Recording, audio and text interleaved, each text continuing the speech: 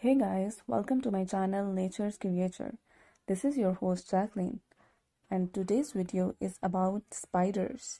But before starting the video, please subscribe the channel and press the bell icon for more updates. So, spiders can see what we cannot. Certain species of jumping spiders can see into spectrums we human cannot.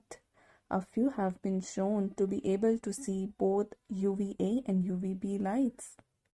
Spiders can work together. While most spiders are solitary animals, there are some that form communications building large communal cubeacs. Colonies can number in a thousands of individuals and they will work together to prey trapped in their webs and share the harvest with each other. There are some unique way to capture the prey. Spiders can go fishing.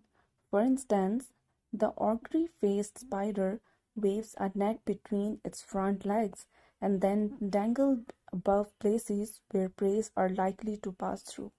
By using its web like a net, it scoops up helpless prey. Spiders are the real superheroes. For its weight, spider's web silk is actually stronger and tougher than steel. Isn't it amazing? Ants can be spiders in distinguish. There are over a hundred species of spiders that mimics ants by having evolved similar appearance and even similar pheromones. Most do it to evade predators, but a few do it to help them prey on ants. There are a lot of spiders. Spiders come in all different shapes and sizes, each with their own unique look and characteristics. There are approximately over 30,000 different species of spiders currently known. However, some scientists believe that there are a lot more to be discovered. Not all spider bites are deadly. There are a few spiders that cause some nasty bites which due to their venom can cause some risky complications to your health. The majority of spiders will not bite humans and if they do, their venom isn't strong enough to inflict any damage. Spiders have blue blood.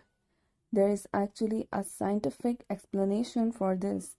In humans, oxygen is bound to a molecule that contains iron that gives our blood a red color. However, in spiders, the molecule that oxygen is bound to contains copper, which gives their blood the blue color. Spiders have very strong muscles. So guys, this was all about today's video. I hope you guys enjoy it.